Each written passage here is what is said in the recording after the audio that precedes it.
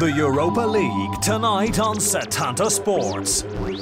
Liverpool will look to build on their victory over Young Boys as they host Udinese on Setanta Sports 1. Shelvey, chance to wrap it up, and doesn't he do that well? While over on Setanta Ireland, Newcastle welcome Bordeaux to St James's Park. What a finish! The Europa League tonight live on Setanta Sports.